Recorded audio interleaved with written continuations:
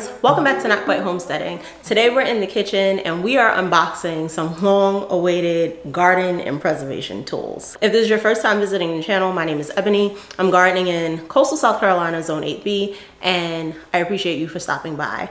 I haven't really talked much about my wish list for garden things that I want to get in order to make either gardening easier or preservation easier, but I have been working diligently towards getting some of the things that I want in order to make sure that I have the best experience possible with garden, with gardening, and with making sure that we're doing the best to preserve our harvest. So I wanted to share a couple of quick things with you that I'm gonna be unboxing that hopefully will make a range of things easier for me as we move into the fall season and I just wanted to share it with you guys. So let's go ahead and jump into this. Now, I will preface with, um, I know that you guys have seen a couple of videos now where I have been using like the red solo cups and actually did invest in like one kind of like really long seed tray. And I guess in my opinion, it's really long. That might be subjective, but um, I don't know the sizes, but I want to say it might be like the uh, three inch like seed trays. So they're virtually like large enough to allow a plant that maybe either grows quickly or that needs a little bit more room um, before, you know, goes into like the ground or something just to decrease the number of times that I have to up pot stuff. So I'll like definitely pan that like in the video so that you guys can see that I've been using those mediums in order to like start seeds. But one of the things I did invest in are seed trays. So this is one of the things that I'm adding to my garden uh, tool lineup to just make things a little bit easier when it comes to starting seeds. For one, um, the method that I used during the spring and summer, it definitely worked, but it was a little tedious, a little bit more tedious than I would have liked. And the reason being is because I used a very shallow, like pot layer of potting soil. I kind of mixed in multiple seeds and you know, I had to transplant seeds out very, very quickly. And then it just kind of became this like constant cycle of transplanting where, you know, had I had something like um, that was actually made for seed starting, I think I could have gone a little bit longer and managed the process a little bit better. In that, of course, seeds get washed over. There were seeds that got shifted throughout that um, seedling phase and, you know, it wasn't i wouldn't say i wouldn't do it again if i needed to but if i can do it a little bit smarter i definitely will do that. These are seed trays with a humidity dome which is actually going to be great for covering seedlings that are vulnerable, um, especially in the fall, such as like brassicas. And then in the winter, when we're sowing for summer, you know, to be able to provide the humidity for things like peppers and eggplant that need it in the seed starting stage. So it has a dome lid with a vent that I can adjust how much air I want to come into the actual seed trays. So each one of these is how many? I don't remember this stuff, y'all. so it's a 10 pack. 10 pack of these with 12 holes each, which I think is really good. I think that's um, more than plenty as far as like seed starting trays and slots that I need. Now, I will say the one thing, um, and I did notice this before I bought them, is on the bottom, I'm not really sure how this like little push out thing is going to work. I hope that it's not a situation where when I go to push them out, I end up breaking the tray. I would like to keep these, you know, and keep them in rotation for use. But this is the tray itself. It comes with like little air vents. I guess I have to do a little bit of assembling. And then it comes with a couple of like garden tools. So I guess a little divot and then um, oh, maybe this, I think this is like for to help me get the seeds out. So maybe that's not as big a concern as I thought it was. I don't know. Okay, so now it's all starting to make sense. I didn't I didn't realize when I purchased this that this was separate. I thought this piece was just like one piece and then you had like the lids. So you actually have a tray so that you can water into the tray instead of watering the seedlings. And then you have the little seed starting And this is kind of just like the um, little heavy duty plastic that you would find like at Home Depot if you were getting like the little um, plastic saucers for your uh, plant pots or anything like that. So it should be pretty sturdy and hold up for quite a little bit. But yes, I guess you can stick the little thing through here to help um, or just kind of fish it out with a little tool. And I actually really like these. I might get some more of these. So far, um, just kind of looking at it, I think this might work out well. So we have 10 of those. And then you can see here, um, they did provide like labels with this.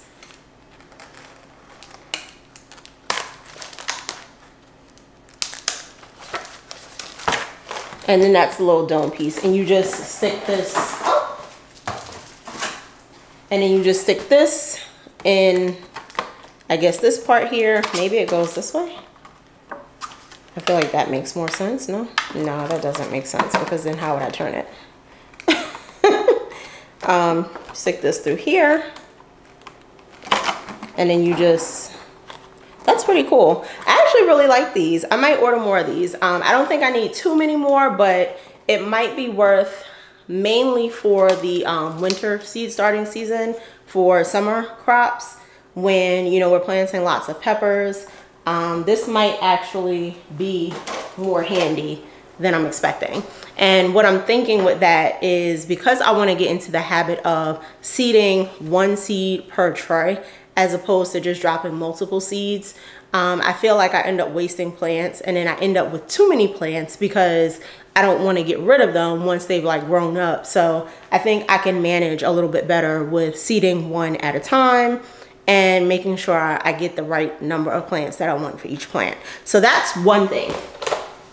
The second thing we got is the seeding square. I have been wanting this for probably the entire year I've been gardening. Um, just in terms of waiting, building the garden and picking up like tools like this I've kind of put it on the back burner because, you know, building the garden has been quite costly and to spend $30 on this when you're building beds that cost hundreds of dollars, um, it just didn't seem practical. It also didn't seem like a necessity at that time. I do want to play around with square foot gardening this fall. So I'm not going to fully convert to just square foot gardening in general, but I want to try it, see how I like it in comparison to what I've been doing. And then we'll determine, you know, I guess when and how to use square foot gardening. Um, I think it could work well for some things. And I think there are some things that just sticking to regular, just fitting it in where it can get in will work better for me in raised beds. So obviously, I'm sure many of you have seen this before. Uh, this comes with a little divot tool that can go inside each of the holes. Um, this thing costs about 30 bucks, if I remember correctly, which I think is a lot for a little plastic square. But here we are. I've joined the, the party.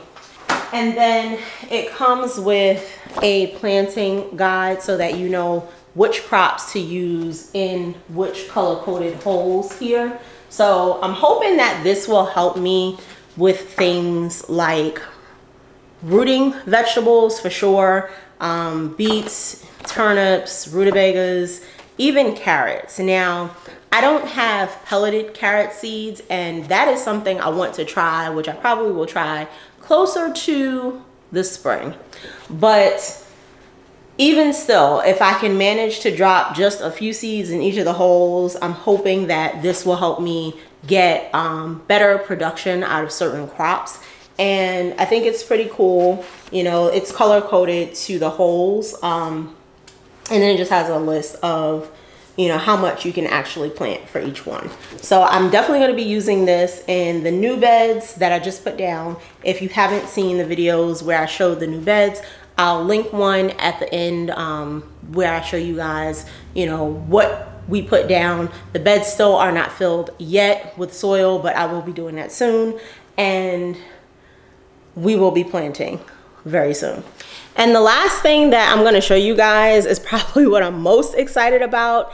Um, I don't have all the accessories for it, but it's definitely a long awaited uh, purchase and that is gonna be my vacuum sealer. So I finally took the plunge and made the investment in getting a vacuum sealer. I had done the research for this probably about six or seven months ago. I've been looking, you know, and then I finally saw one that I was like, I think that's the one that I want to get. Um, I actually saw someone using it and the seal that they got on their bags and what they were raving about, you know, just the overall quality of the machine was actually really, really good. So I went ahead and researched that product.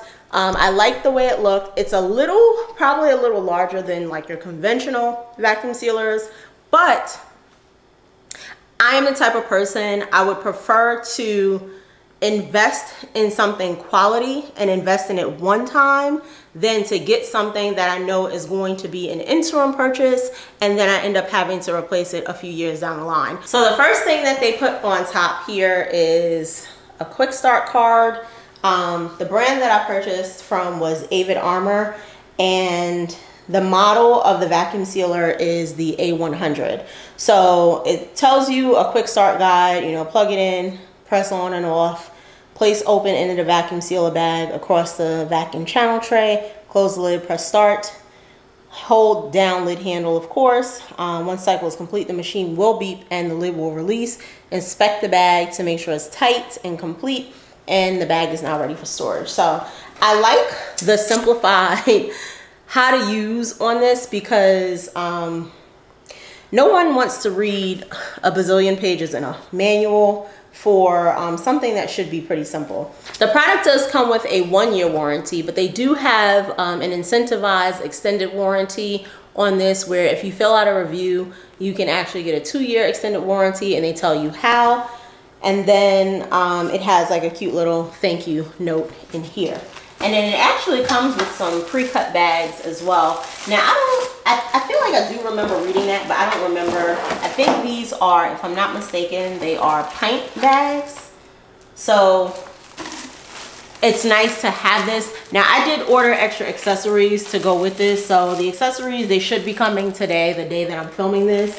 Um, I won't show them in this video, or if they do get here before I actually edit, and post the video, then I can probably do a quick uh, scan. Of course, it comes with a full manual as well. So you can um, read through that as well. It also tells you how to package with canisters. And I did get, that was one of the parts that I got with this. So um, I will be reading that later on. So the packaging is not bad, pretty simple. Oh well, I guess I could have just did this. I didn't need to bust the bag open. Say that.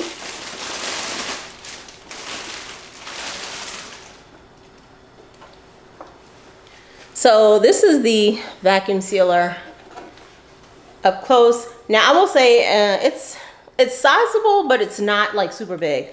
I opted to get this directly from the manufacturer. They do sell this on Amazon. I will link it on Amazon in my description box um, using my Amazon affiliate link. If you are someone that really needs, you know, one or two day shipping, because I think this is like available next day if I remember correctly, and you wanted to purchase this product, um, Amazon definitely is the way to go. And not that I have an issue getting any product from Amazon, but with things like this that are quite costly, um, I really do prefer to get them from the manufacturer. And I think in the cases of stuff like this, the manufacturers tend to have um, greater investment in reliability and accountability with the carriers because you know they're shipping their own products and they know that their products are not you know inexpensive um, not to say that Amazon doesn't refund, you know, if you need to quite easily, but I just feel like with certain things, it's just better to go through the manufacturer. So that's why I purchased this directly from them. It has its little operating tips here. I think the little things I pulled out, obviously they go around this little edge here. So I'll go ahead and put the, um, the elastics on or whatever those things are, the cushions. But I'm going to place this on my counter. I've thought about what I wanted to do with it. I'm gonna put it in place where my uh, slow cooker is right now. And what that will do is allow me to just have this ready and available throughout the preservation season. I haven't really started preserving a ton of stuff like the tomatoes. Um, I've preserved peppers, like I've frozen them, but I really want to get some of those things packed into tighter bags so that we can preserve them a little bit longer and prevent things like ice crystals from building up in the Ziploc bag. So I will be using this quite a bit probably for the next few months.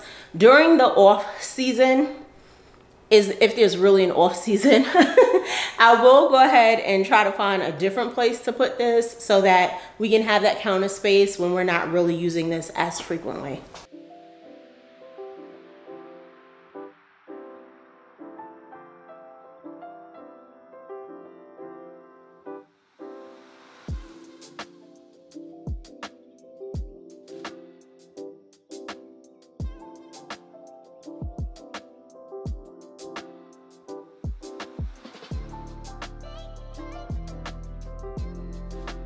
So this will rest here for the majority of the season and who knows I might decide to just leave it here if I find that it doesn't interfere too much. It's not like I'm preparing a ton of stuff down at this end of the counter. This is really kind of our coffee corner. But I did want to point out the other thing that the person mentioned about this that I really liked and what made me start looking into it is your ability to choose the functions. So they have a marinate function, an accessory function, a pulse vac, which is where you want to control how tight the seal is, and then an impulse seal. So you have the option to flex your seals the way that you need to, to fit whatever you're vacuum sealing. And I really did like that about it.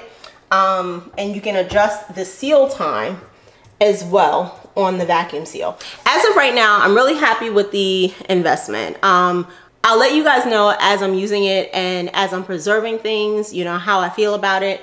But so far, it seems like a worthy investment. I hope that I am as happy with it as people have stated in their reviews that they are. But that's everything that we've picked up so far for the garden. Let me know what you guys think of this particular vacuum sealer and the other tools that I picked up if you have tried any of them, um, if you have seen them, if it's a wish list item, um, let me know. And I look forward to reading your comments. I appreciate you guys for spending time with me in the kitchen today, friends.